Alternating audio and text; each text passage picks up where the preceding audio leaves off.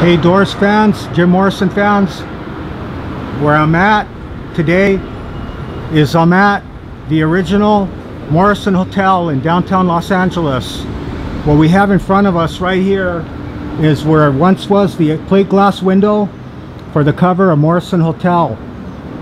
Unfortunately, some genius tore it out, put this goofy door here, and when I came 20 years ago, my, the plate glass window was still there, but somebody had scratched off Morrison Hotel.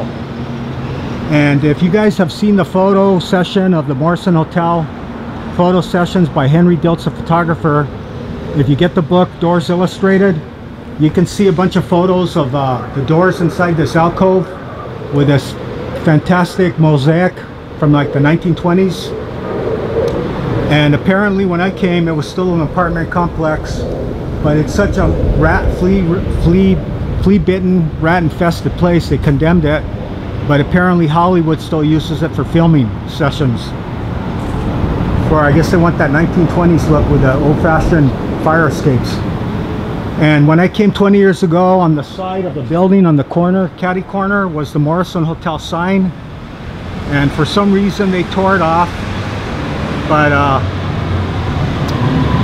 anyway uh, also now I'm going to take you Doors fans to the uh, Hard Rock Cafe also in downtown LA and if you guys are familiar with the back cover of Morrison Hotel Henry Diltz took a bunch of photos of the doors inside that bar which was in Skid Row and now it's just a 99 cent store.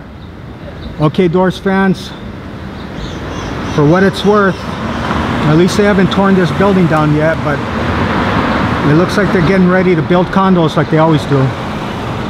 If you ask me if I owned this building, I would have put that plate glass window in, painted Morrison Hotel, and uh, sold tickets for people to take photos in front of it. And a little tour inside maybe, huh? Okay, Doors fans, hope you appreciate this.